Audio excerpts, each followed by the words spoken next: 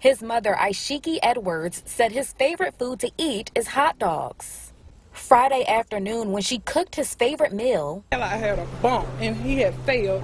that loud bump was similar to her heart dropping in her stomach when she saw DJ lying on the floor.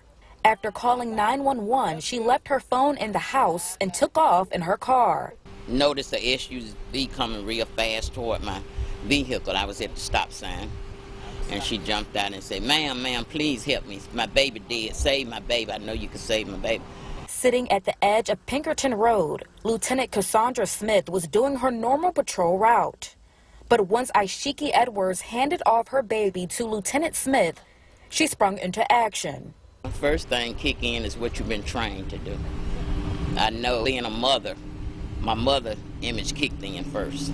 Lieutenant Smith used her finger to remove the hot dog from DJ's throat.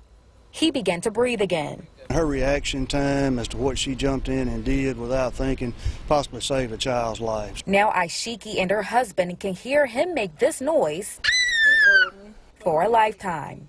It mean a lot to me. It's, it, it, it melted my heart. It was, it was a blessing. She was hearing God. DJ returned home from the hospital on Sunday, and now he's happy, he's healthy, and most importantly, he's alive and well.